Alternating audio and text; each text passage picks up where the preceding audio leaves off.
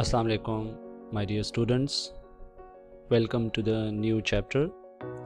It's Biology 5090, chapter number 4. As per the new syllabus, it's about the biological molecules. My name is Adnan Khan. In this chapter, we are going to discuss what biological molecules are and where do they exist, what are their properties, and why are they required in the body. So, first of all, let us start with the first the definition of the biological molecules biological molecules are actually those molecules which are present inside the living bodies which are present inside the living things and they are required for certain purposes and they have certain roles in our body example of biological molecules that are more frequently asked until the level of uh, IGCSE or O levels 5090 carbohydrates proteins lipids vitamins, minerals, fiber, or which we also call the roughage, and water. These are the biological molecules present in the living things.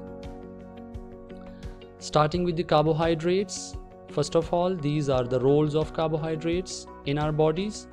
What role do, do they play in our bodies? First of all, carbohydrate gives us energy okay? So they are the prime source of energy. They are burned and energy is released as a result. Number second what makes them? Carbohydrates they all contain carbon hydrogen and oxygen and because they contain carbon and hydrogen that's why we call them organic molecules organic molecules are those that contain carbon and hydrogen there is one popular example of carbohydrates which you might have heard of. It's starch. Starch is made from simple sugars just like this. These sugar units are glucose. So in this diagram you can see four glucose units combined together to make a starch molecule. But they are not four exactly. They are more than that. They are thousand in number. So the number may vary. and then over here we have the uh, sources of carbohydrates what things contain carbohydrate first of all the bread the cereals that we consume the pulses the fruits and root vegetables and potatoes. They all contain starch. In all carbohydrates the ratio of hydrogen to oxygen is 2 ratio 1 okay? If you if you take any example of carbohydrate mostly sugars if i say carbohydrate like glucose c6 h12o6 so h12o6 which means ratio of hydrogen to oxygen is 2 ratio 1 similarly there is another uh, carbohydrate that we call sucrose the common table sugar that you consume in your tea and coffee. Its formula is C12H22O11. So it's like H22O11, which means 2 ratio 1. So it is the same ratio, ratio between uh, uh, hydrogen and oxygen as found in water. That is why carbohydrates are also called hydrated carbons. Sugars include, now these are the types of the carbohydrate. First type sugars include monosaccharides and disaccharides. The word mono means single, one, saccharides for sugar. So single sugar units are called monosaccharides. Double sugar units are called disaccharides. Examples of monosaccharides in your syllabus is glucose, fructose and galactose these are three types of monosaccharides. Disaccharides, examples are maltose, lactose, and sucrose.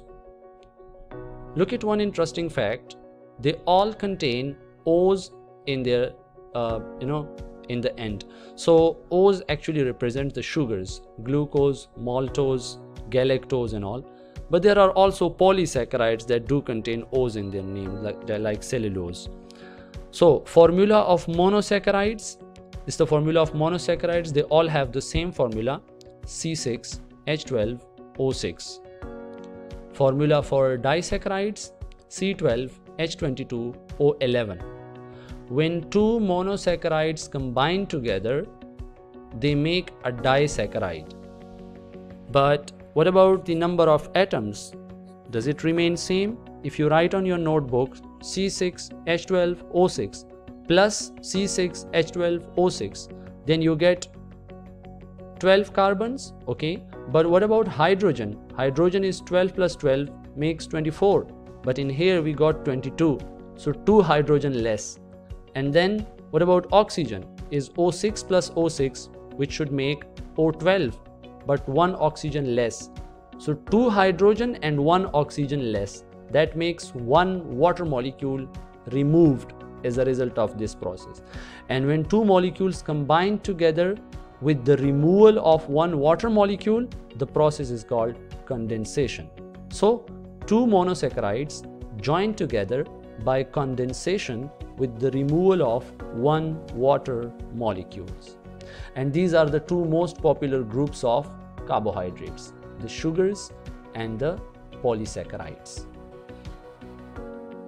Moving on to the next slide. What about polysaccharides as discussed in your syllabus? First of all, we have starch, the very popular polysaccharide in plants.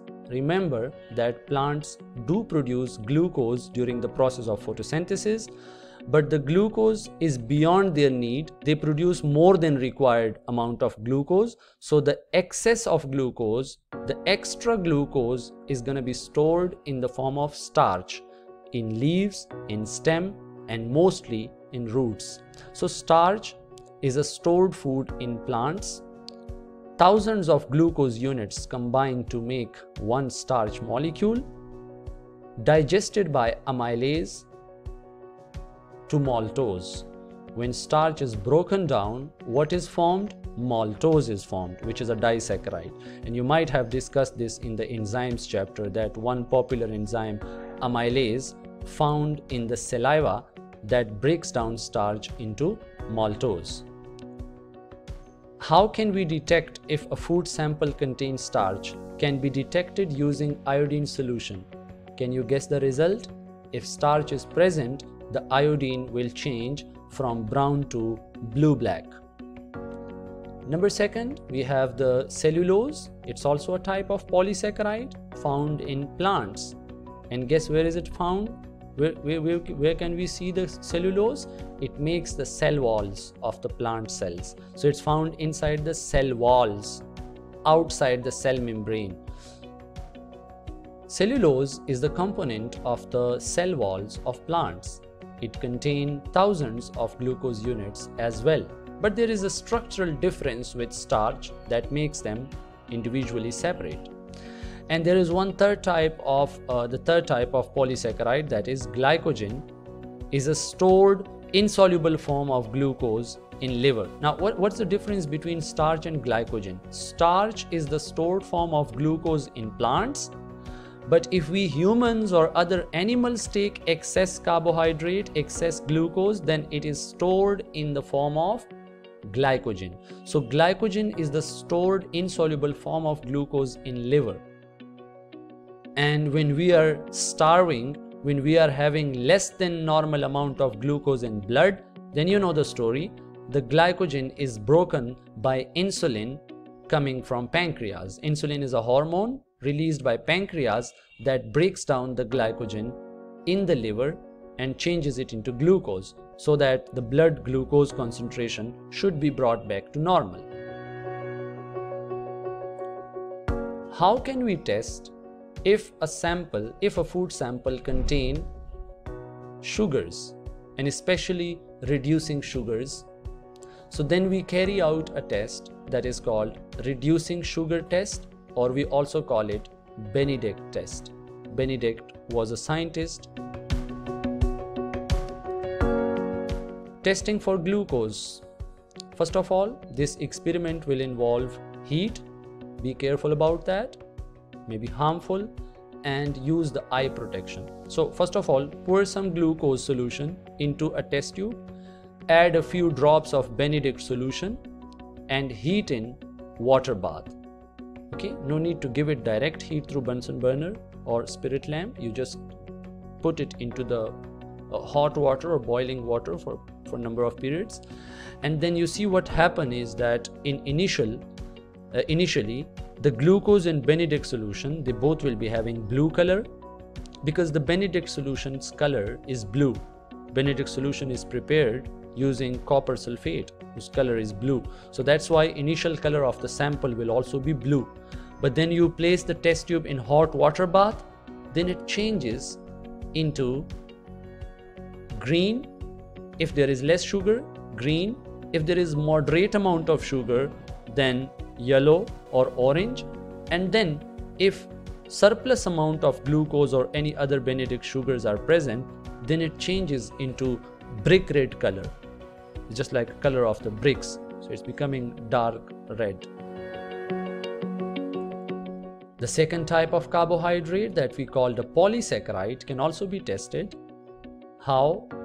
Put a few drops of starch solution on a spotting tile add a few drops of iodine.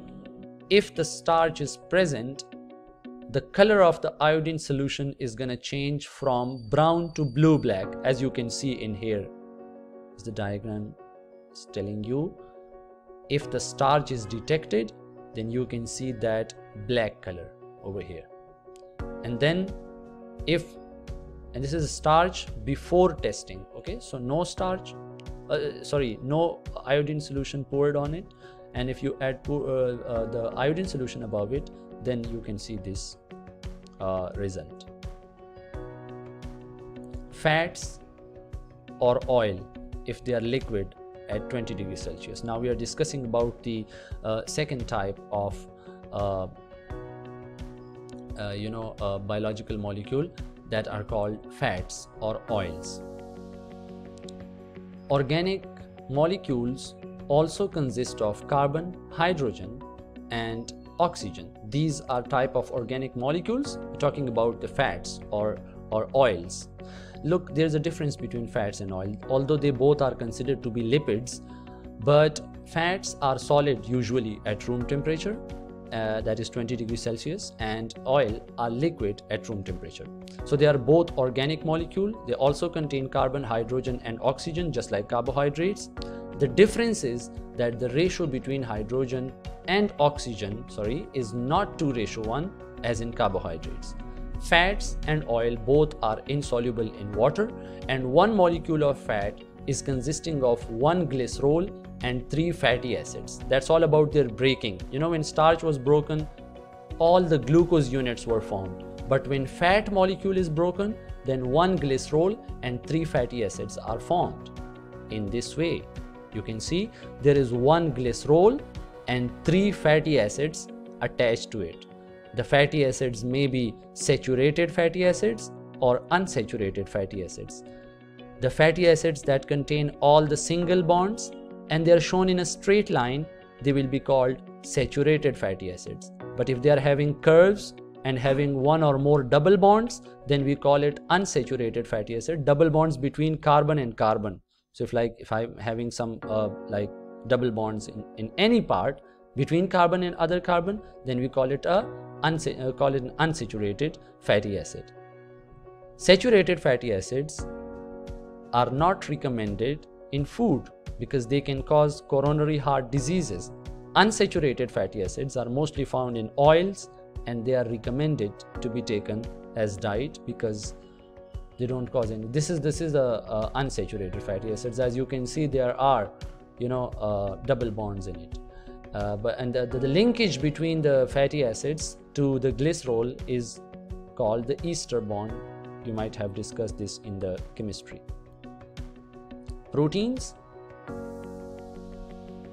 Elements that makes protein carbon hydrogen oxygen. The same three elements but along with uh, nitrogen.